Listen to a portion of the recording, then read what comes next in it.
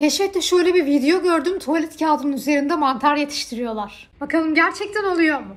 Kaynamış suyun içine tuvalet kağıdını batırıp çıkardım. İçindeki ruloyu alıyorum. Şöyle filtre poşet kullanacağım. Bunun üzerine mantar tohumu ekledim. Kapatıp 3 hafta bekletiyorum. Bakalım ne durumda? Pamuk şekere dönmüş. Şimdi bunu bir günde dolapta bekleteceğim. Dolapta bekledikten sonra yapmam gereken günde 2-3 kere su fışkırtmak. Abi inanmıyorum bunlar çıkıyor. Her geçen gün biraz daha büyüyor, biraz daha büyüyor ve en son bu şekilde. Çok devasa bir mantar olmadı. Tohumundan kaynaklanıyor olabilir ama en azından denemedim demem. Sonuç 10 üzerinden 10.